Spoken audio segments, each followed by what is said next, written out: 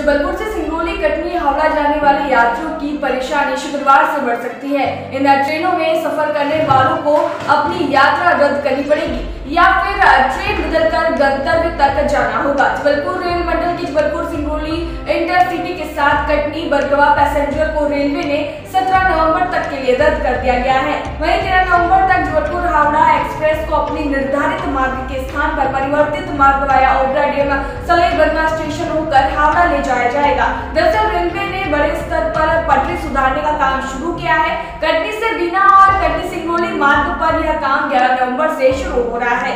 इस वजह से कई ट्रेनों को रद्द किया गया है। तो कई ट्रेनों के मार्ग बदले गए हैं। रेलवे के मुताबिक ट्रेन ज़ीरो छह छह छह दो तीन चौबीस Katni Bargawan MEMU passenger special train के साथ ट्रेन एक एक छह पाँच एक जबलपुर सिंगरौली इंटरसिटी एक्सप्रेस को सत्रह नवंबर तक रद्द किया गया है। वहीं सिंगरौली, जबलपुर इंटरसिटी अठारह नवंबर तक रद्द रहेगी। ट्रेन ग्यारह ग्यारह चार चार अड़तालीस जबलपुर, हावड़ा एक्सप्रेस, शक्ति पुंज एक्सप्रेस अपने निर्धारित मार्ग के स्थान पर परिवर्तित मार्ग वाया ओबरा डेम सलई बर्मा स्टेशनों का चलेगी। बिना कटनी मेमो टारसी, भोपाल टारसी, विद्यांचल एक्सप्रेस को अठारह नवंबर तक और भोपाल दमोह राज्य रानी एक्सप्रेस को सत्रह नवंबर तक रद्द किया गया है।